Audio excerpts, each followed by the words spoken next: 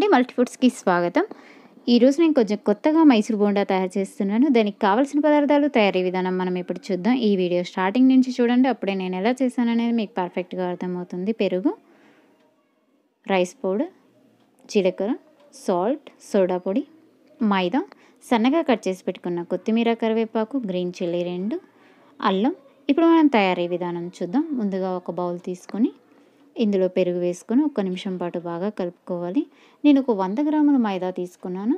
Same quantity పెరుగు కూడా తీసుకున్నాను. ఒకవేళ గ్రాములు కష్టంగా అనిపిస్తే ఒక కప్పు మైదా అయితే ఒక కప్పు పెరుగు తీసుకోండి. ఈ కలిపిన పెరుగులో ఇప్పుడు మనం మైదా వేసుకుందాం. అలాగే రైస్ పౌడర్ కూడా వేస్తున్నాను. నేను ఒక టూ టేబుల్ స్పూన్.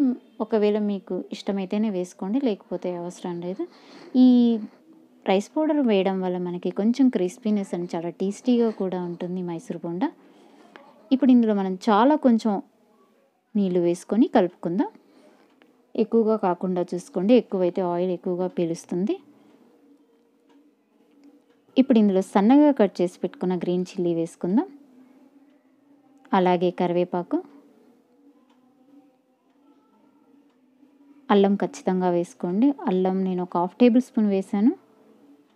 తురిమైనా వేసుకోండి లేకపోతే సన్నగా కట్ చేయనా వేసుకోండి. కట్ చేసుకొని కొత్తిమీర కూడా వేసుకొని ఈ పిండిలో పూర్తిగా కలిసిపోయేలాగా కలుపుకుందాం. ఇప్పుడు ఈ కలుపుకున్న దీంట్లో ఒక హాఫ్ టేబుల్ స్పూన్ జీలకర్ర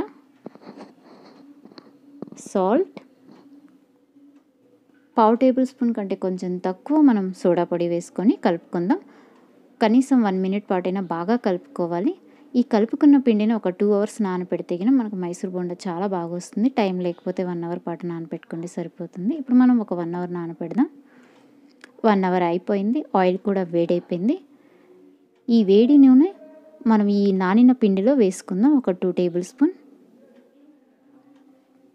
ఈ పిండిలో ఆయిల్ పూర్తిగా కలిసిపోయేలాగా ఈ పిండిని మనం ఇప్పుడు కలుపుకుందాం.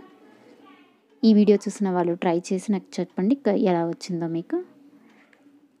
అలాగే మార్నింగ్ ఈవినింగ్ మనకి స్నాక్స్గా టిఫిన్గా చాలా బాగుంటుంది. అండ్ చాలా తక్కువ ఇంగ్రీడియంట్స్ తోటి చాలా టేస్టీగా ఉంటుంది మైసూర్ బోండా. ఇప్పుడు ఇది రెడీ అయిపోయింది. మనం ఇప్పుడు ప్రిపేర్ చేసుకుందాం. సిమ్లోనే పెట్టుకోండి. ఈ మైసూర్ బోండా వేసేటప్పుడు అన్నీ వేసిన తర్వాత హై ఫ్లేమ్ పెడితే సరిపోతుంది.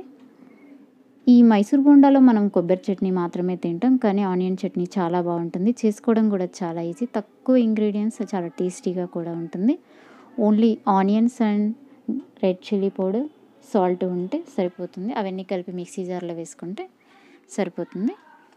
ఇప్పుడు ఇవి ఫ్రై అయిపోయి మనం ఒక ప్లేట్లోకి తీసేసుకుందాం.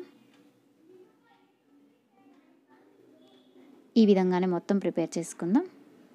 ఇవి పూర్తిగా రెడీ అయిపోయాయి ఒకసారి ఇప్పుడు మనం చూద్దాం ఎలా వచ్చాయో.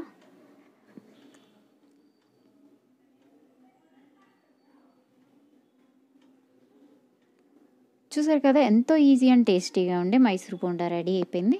ఈ రెసిపీ మీకు నచ్చినట్లయితే లైక్ అండ్ షేర్ చేయండి. నా వీడియోస్ మీరు ఇంకా చూడాలనుకుంటే నా ఛానల్ సబ్స్క్రైబ్ చేసి పక్కనే ఉన్న బెల్ ఐకాన్ని యాక్టివేట్ చేయండి.